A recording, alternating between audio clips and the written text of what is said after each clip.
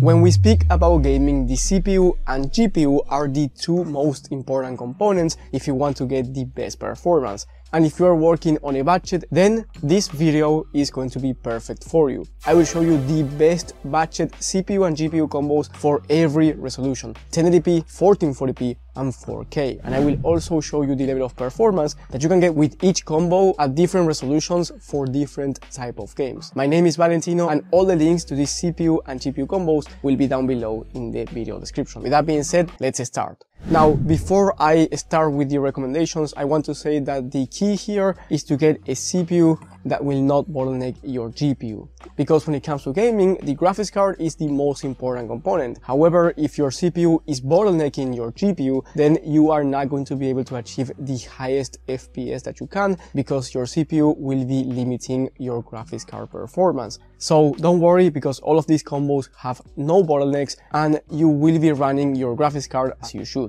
Anyway, let's start with 1080p resolution. We have the ultra budget gaming combo with the Ryzen 5 5500 combined with the Intel Arc A580. This is a very nice 1080p 70 plus FPS on average combo and I'm talking about 70 plus FPS on average in high demanding titles. And you can see the data yourself in one of the latest tests from TechSpot from the RX 7600 XT, which is fresh data. You can see the RX 6600 on a 12 frame average on high to ultra settings in high demanding titles, achieving around 73 FPS on average. Now the Intel Arc A580 is not in this list, but you have to keep in mind that it's very similar in terms of rasterized performance compared to the RX 6600. So you are expecting around that same number, 70 plus FPS on average, depending on the game and depending on the settings. And if you want to play easy to run games, then you can achieve 144 plus FPS on average. So you can buy a 144 Hz 1080p monitor. This combo is the cheapest one on the list for just $250 and is amazing in terms of price to performance, especially if you are working with a tight budget and you are going to play at 1080p resolution. And keep in mind that the price might be different when you are watching this video because prices change basically every day. So I highly recommend you checking the latest prices and availability down below in the description. Now, if you have more money to spend, then you are going to be getting a much better combo with the Ryzen 5 5600 instead of the 5500, which is faster. And then you get the RX 6650 XT.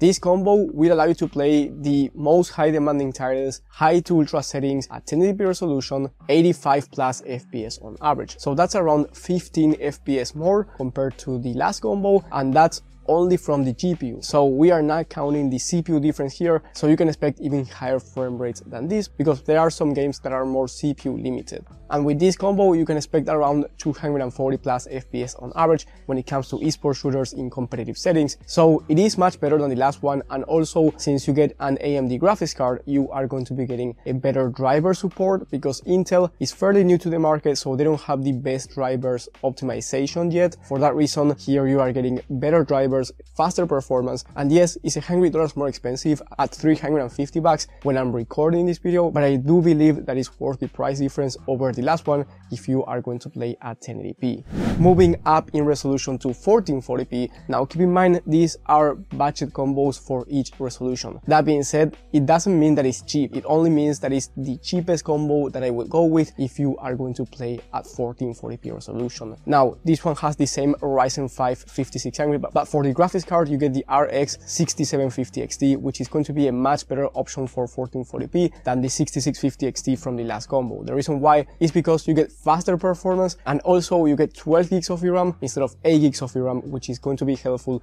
at 1440p, especially if you want to play the latest AAA high demanding titles where you are going to be utilizing more than 8 gigs of VRAM at 1440p. Now on the same test from TechSpot, but this time at 1440p on a 12 frame average, high to ultra settings. The 6750 XT is not on the list, but it's very similar in terms of performance compared to the RTX 4060 Ti. So you can expect around 80 plus FPS on average when talking about 1440p high to ultra settings, which is a 20 FPS on average difference compared to the last combo. And the price for this combo at the moment is around $430, so around $80 more expensive than the last one. But once again, I do believe is worth the price difference if you are going to play at 1440p or maybe you want to eventually upgrade to 1440p down the line or if you want to achieve higher frame rates and have more VRAM. If you spend more money, however, I do recommend you getting the RX 6800 instead of the 6750 XT. And with this combo, you still have no bottlenecks because the 5600 actually is a great CPU to pair with the RX 6800 GPU and you are going to be achieving a higher level of performance. And if you want to see the FPS difference,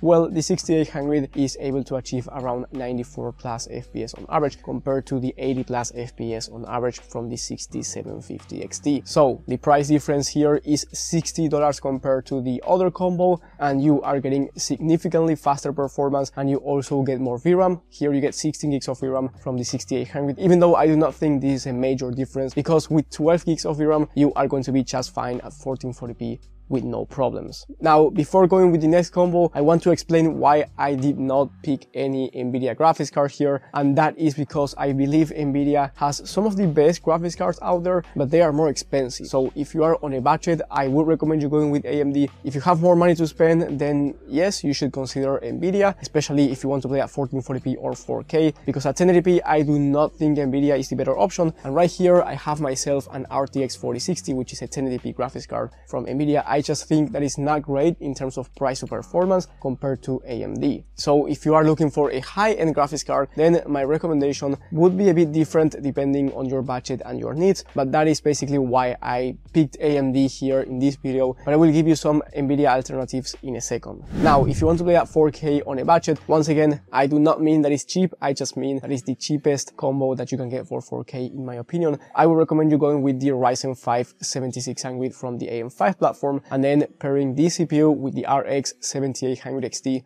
graphics card. This combo is $670 and you can achieve 60 plus FPS on average, 4K resolution, high to ultra settings, depending on the exact game. And you can also turn on FSR at this resolution because I do believe that if you play high demanding titles, turning on the upscaler might be a good option for you, especially if you want to play on ultra settings. Now, there are some games where you will not be required to turn on DLSS. Let's say you want to play GTA 5 at 4K, you are going to be achieving high FPS regardless. Or the same goes for easy to run games like Minecraft and these type of games. So at 4K, you can achieve very nice frame rates with the 7800 XT, especially if you do not want to buy the high-end graphics cards like the RTX 4080 Super or RTX 4090. And this one has 16 gigs of VRAM, which is nice considering that we are talking about 4K resolution at this point. And then if you want an upgrade, I recommend you pairing the same CPU, the Ryzen 5 7600, but this time with the RX 7900 XT, which is an amazing 20 gigs of VRAM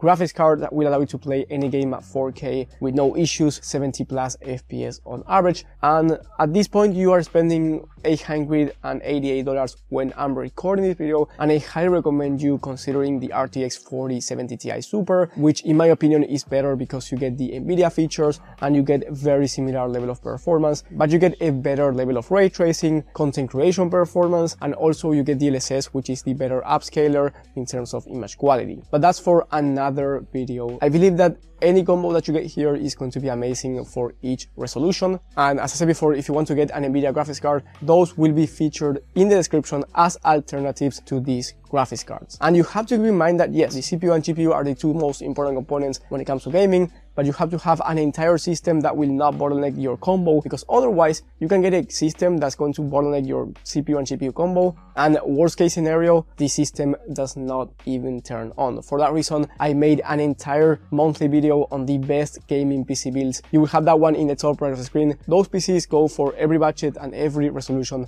and they have no bottleneck in any components. So highly recommend you watching that one if you want an entire system regardless of your budget. And if you want personal PC help from me, that's going to be the top link in the description. Thank you guys for watching. Thank you for the support and I will see you on the next one.